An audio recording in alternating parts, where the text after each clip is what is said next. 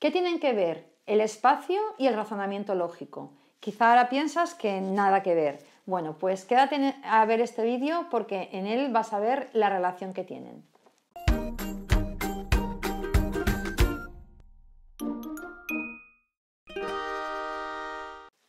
Hola, soy Marina Martín de aprendiendomatemáticas.com y hoy os voy a mostrar un juego de la casa Smart Games que como seguro que sabéis, porque además tengo muchos vídeos de esta casa, pues es un fabricante especializado en juegos de lógica, pero unos juegos de lógica muy interesantes, muy llamativos para los niños y que tienen para todas las edades. Hoy vamos a ver uno que es a partir de 8 años, ¿vale? O sea, no estamos hablando de una propuesta sencilla, aunque a veces estos juegos tienen esa apariencia de, pues, de juego que podría jugar un niño de 4 o 5 años, no. En este caso, quizá los primeros retos sí que los pueden hacer niños más pequeños de 8, pero es un juego que, pues eso, 8 99 años ya nos está indicando la, dificultad del juego, ¿no?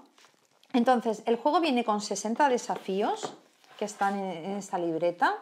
Entonces, estos desafíos, bueno, en cada, en cada hoja eh, vienen varios de ellos. Y por otro lado tenemos lo que es el juego. ¿vale? Eh, como ves, viene en una caja que puedes transportar o guardar fácilmente. Entonces vamos a ver, voy a quitarle la tapa.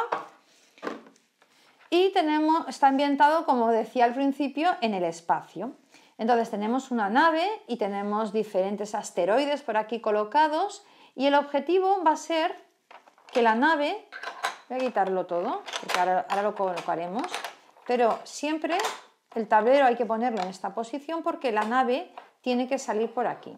Obviamente es el típico juego donde yo no puedo levantar la nave y sacarla, sino que los movimientos que puede hacer tanto la nave como las otras piezas son hacia adelante o hacia atrás, derecha o izquierda. Tiene como unos, una especie de carriles ¿no? para que puedan salir. Bueno, entonces vamos a hacer eh, un reto. Voy a empezar haciendo el reto 1 porque ya os he dicho que no, es nada fácil, entonces son retos que te hacen que pensar, pero el primero pues quizás sí que es bastante sencillito. Lo primero que tienes que hacer eh, para, para solucionar el reto o sea, es plantearlo, ¿no? Entonces el planteamiento es, coges esto y lo pones aquí encima. Fíjate que tenemos piezas con dos asteroides, con un asteroide, pero también nos importa la posición en la que están los asteroides. O sea, estos son en una diagonal, estos están eh, verticalmente, pero también aquí hay una estrella que nos va a indicar pues cómo lo tenemos que ir poniendo. Entonces, a ver, pues yo veo aquí este, aquí la nave, aquí la pieza. Ah, y luego tenemos piezas que son iguales, pero una en gris claro, otra en un gris más oscuro, eso también es importante.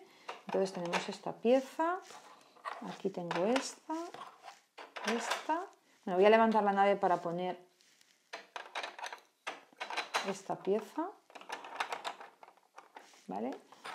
Y pongo esta aquí, mm, no, este es más clarito, eh, lo pongo aquí y por último este que es más oscuro lo pongo aquí. Bueno, de hecho tenemos tres colores de gris, gris claro, gris medio y gris oscuro. Bueno, entonces de lo que se trata, como decía, es que yo voy a ir moviendo, por ejemplo, esto así, para dejarle espacio a la nave, y entonces ahora me muevo así y la nave sale por aquí. Pero este, ya lo he hecho a propósito, es el reto más fácil, porque tú piensas que sí, vamos a poner una situación que no es la que tenemos, ¿eh?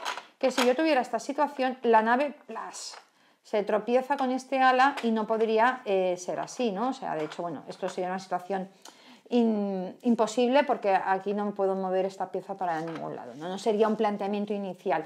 Pero lo que quiero decir es que mm, los niños van a ir cogiendo, niños y adultos, porque este juego es para todas las edades, van a ir cogiendo retos, fíjate que al principio están señalados como fáciles, entonces podemos prever que estos van a ser retos más asequibles, luego ya junior en color naranja, eh, mm, le han cambiado el nombre, Wizard, en color azul. Y, esto lo que nos va a ir indicando, pues eso, la dificultad. Al final tienen las soluciones, ¿vale? Unas soluciones que, a ver, también interprétalas, ¿eh? que te van indicando cuáles son todos los movimientos que deben hacer las piezas para conseguir que la nave salga. Bueno, pues ya está, este es el juego que os quería mostrar, me parece que es una propuesta para los más mayores muy interesante porque el tema de las naves, el espacio, pues me parece atractivo, un formato eh, muy sencillo de tanto de manejar como de empezar a jugar, que si os ha gustado este vídeo, deis arriba a las manos en YouTube que os suscribáis al canal porque cada semana presento un juego, un libro, un material manipulativo, todo con el objetivo de desarrollar la lógica y las matemáticas de una forma divertida.